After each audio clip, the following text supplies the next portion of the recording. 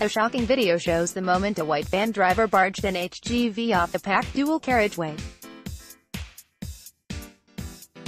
The incident happened as vehicles tailgated each other on the Edinburgh City bypass during the rush hour. The van driver fails to notice that traffic ahead is braking and swerves to avoid a collision, crashing into the side of an HGV. The HGV is pushed out of the slow lane and onto the edge of the road but the driver manages to stay in control. Dopey van driver was captured on another motorist's dashcam on April 26 at about 6.25 in the morning. In the clip, cars can be seen putting on the brakes as they spot traffic ahead. A white van is then shown in the distance, in front of another van, slamming on the brakes late, narrowly avoiding hitting the car ahead. But instead, the van driver abruptly pulls the steering wheel to the left resulting in the vehicle crashing straight into the side of a lorry traveling along the inside lane. The lorry ends up being forced into the slip road before the white van finally stops in its tracks while surrounded by other vehicles.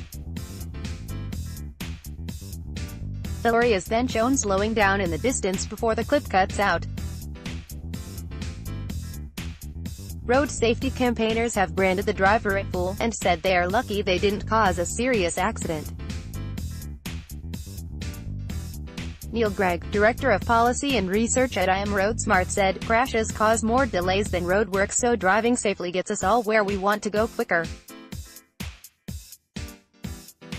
This van driver needs to get his driving skills refreshed as well as any charges being brought against him. There is no room for error on the A720 so you need to leave as much room as possible and expect the worst. Drivers like this are clearly willing to provide it. A spokesman for SWD Media, who obtained the footage, said, Thankfully this collision was not as serious as it could have been.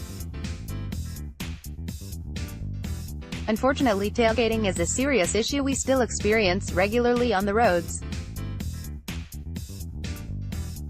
As the saying goes, only a fool breaks the two-second rule and it's true. At 70 miles per hour your braking distance is at least 96 meters, 315 feet or 24 car lengths, and this increases depending on the weather and road conditions.